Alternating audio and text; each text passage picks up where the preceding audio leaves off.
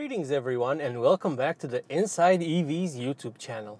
My name is Andrei and I am one of InsideEVs European uh, writers. And today I had the chance to spend a few hours with the new Dacia Spring, which has the potential to become one of Europe's most popular electric vehicles. It's really good and I'm going to tell you why.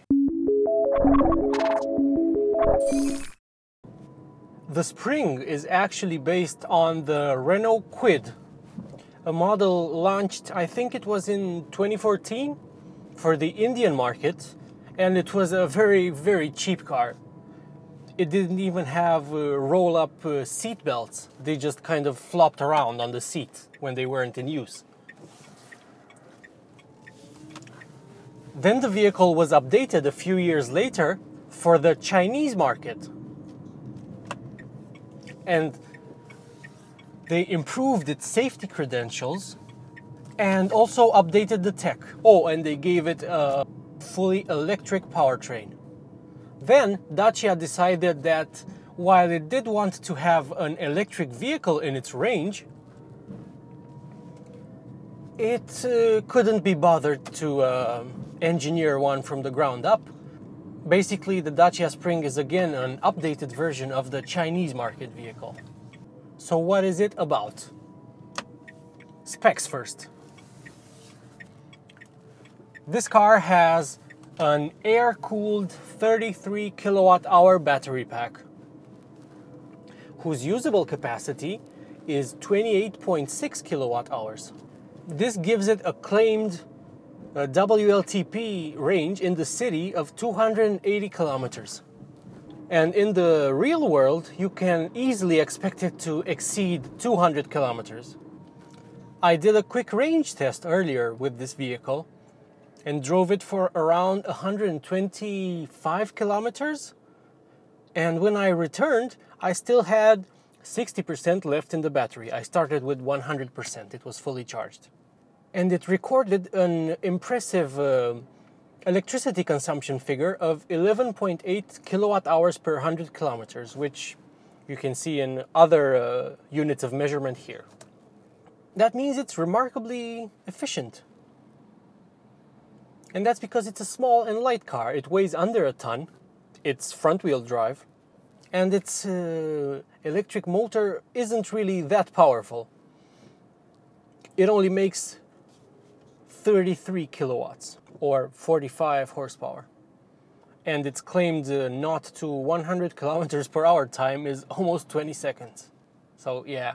But when you're just driving it in town, it actually feels uh, decent up to 50 60 kilometers per hour. Yes, it's definitely an underpowered car by most modern standards. It's, um, you don't mind it. It just gets you from point A to point B. It is the definition of no frills. As you can see, it accelerates cleanly, and we're already doing, uh, we did about almost 60 kilometers per hour there in a few seconds. And it's, it's fine, it's adequate. You probably, wouldn't even need more power. I don't even believe myself when I'm saying this, but for this type of car, it's fine. It's totally fine. This is the automotive equivalent of a scooter or like a Vespa thing, you know, a small displacement motorbike or something. This vehicle is very cheap and it feels cheap. The materials are all hard plastics that will hopefully stand the test of time, so they will be durable and hard wearing, which is at least a bit of a decent trade off for having uh, not very nice to touch materials inside the cabin. There's also no adjustment for the steering wheel, either for reach or rake. Neither of the front seats can be adjusted uh, for height, although you can slide them forward and back obviously and adjust the, the backrest. Another telltale sign that this is a very cheap car is that you can hear the small servo for the assisted steering. It's one of the loudest I've ever heard in a modern car. But at least the steering is light and it does the job. It's fine.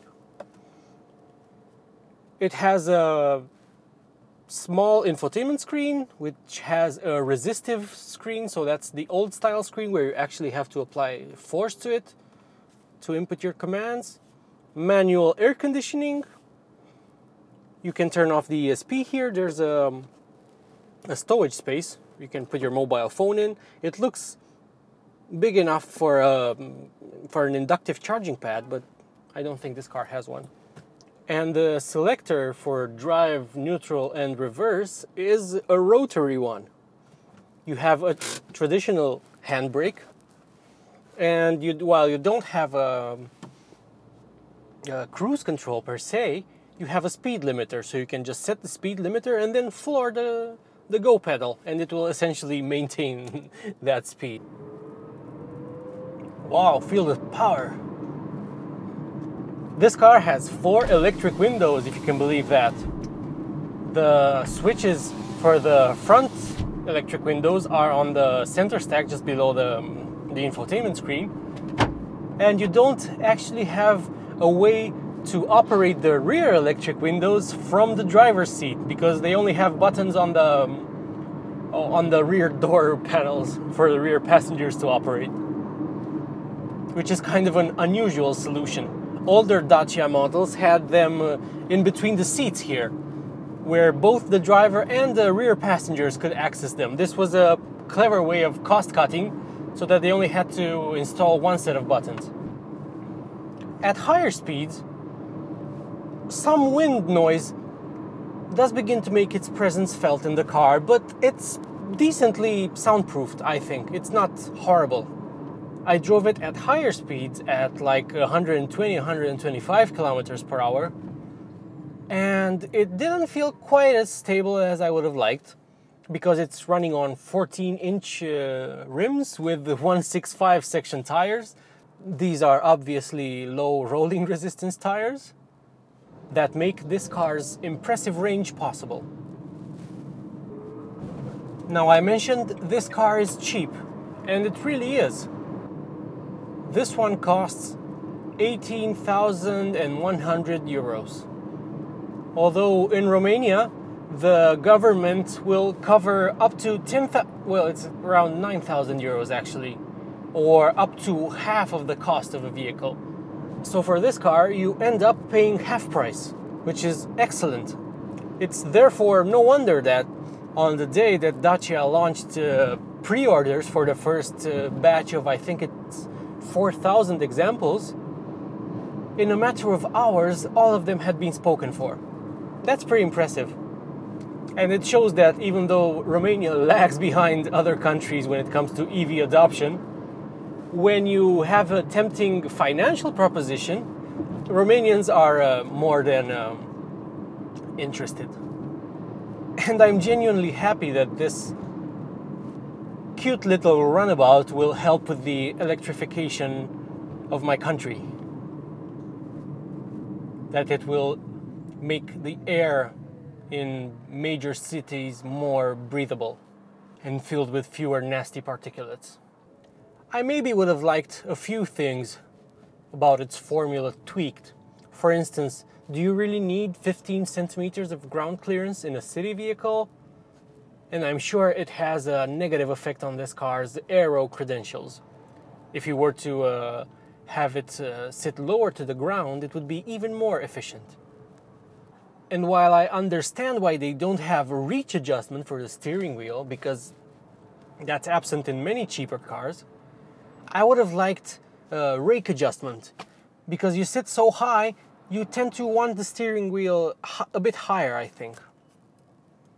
But other than that, for the kind of money you pay for this car, which is practically Europe's most affordable electric car, that's a real car, that's not a, a quadricycle, as they call it. It's a tempting buy. It's a tempting proposition. It's a real car.